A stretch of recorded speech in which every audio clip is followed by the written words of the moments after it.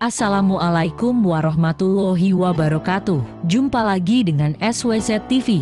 Pada kesempatan kali ini, kita akan melihat bersama sebuah masjid yang sangat indah yaitu Masjid Agung Syekh Jayat. Selamat menikmati. Masjid Agung Syekh Jayed adalah masjid yang berada di kota Abu Dhabi, ibu kota kerajaan Uni Emirat Arab.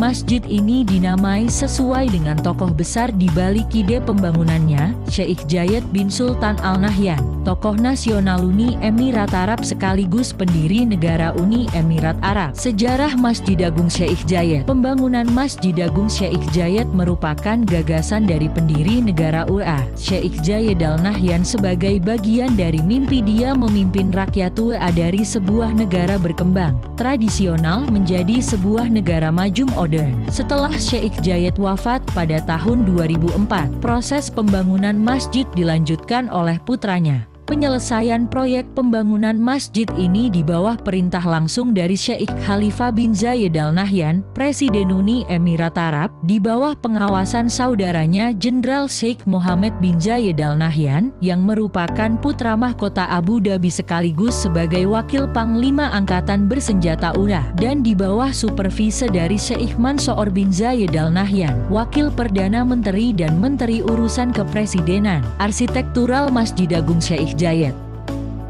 Masjid Sheikh Jayed diinspirasi oleh pengaruh arsitektural Mughal India, Pakistan, Bangladesh, dan Moorish Maroko.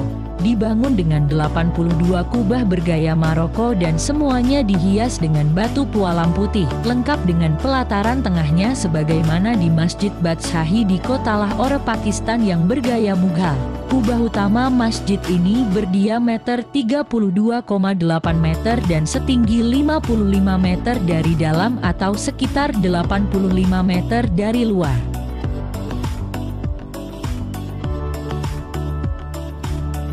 Merujuk kepada Turkey Research Center for Islamic Historian Culture, kubah ini merupakan kubah terbesar yang pernah dibuat dalam jenis yang sama. Secara keseluruhan arsitektural Masjid Agung Syekh Jayed dapat disebut sebagai fusi dari arsitektural Mughal, Moorish dan Arab.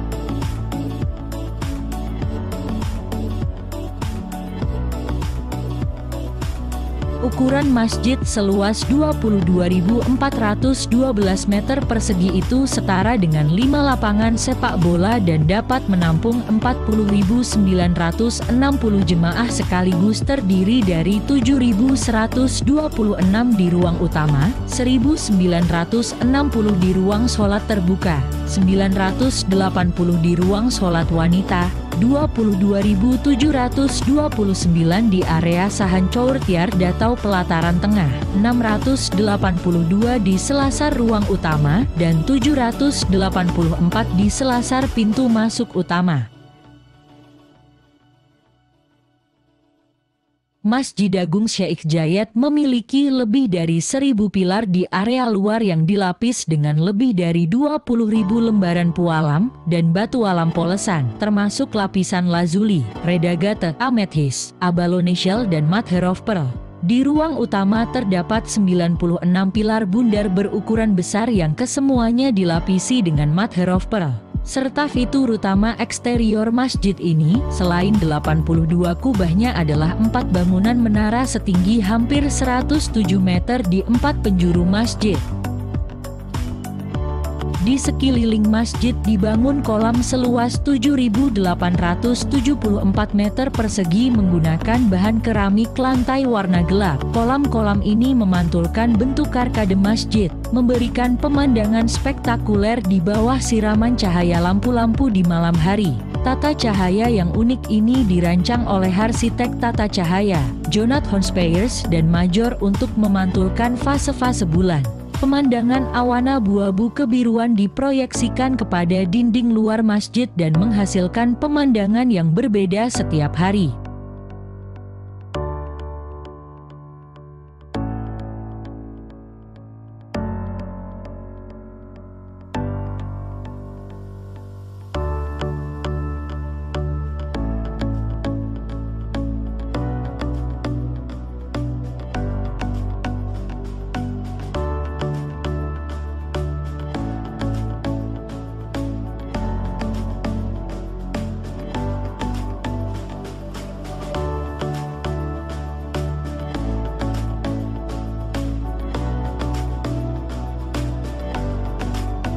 Rancangan impresif menghias sisi dalam masjid dengan menggunakan material pualami talia dipadu dengan rancangan ukiran floral di ruang sholat utama serta dinding sisi luar yang dihias dengan mozaik kaca mas, sebagaimana tampak pada dinding sebelah barat. Pintu utama masjid ini dibuat dengan bahan kaca setinggi 12,2 meter dan lebar 7 meter, memiliki berat mencapai 2,2 ton.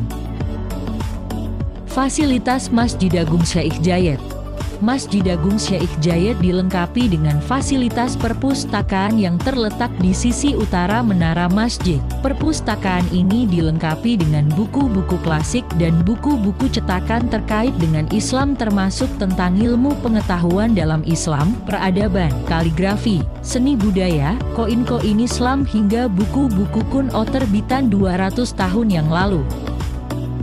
Demikian sekilas mengenai Masjid Agung Sheikh Jayed, semoga terhibur dan menginspirasi. Sampai jumpa di edisi serial Masjid Dunia dari SWZ TV selanjutnya. Jangan lupa untuk like, komen dan subscribe ya.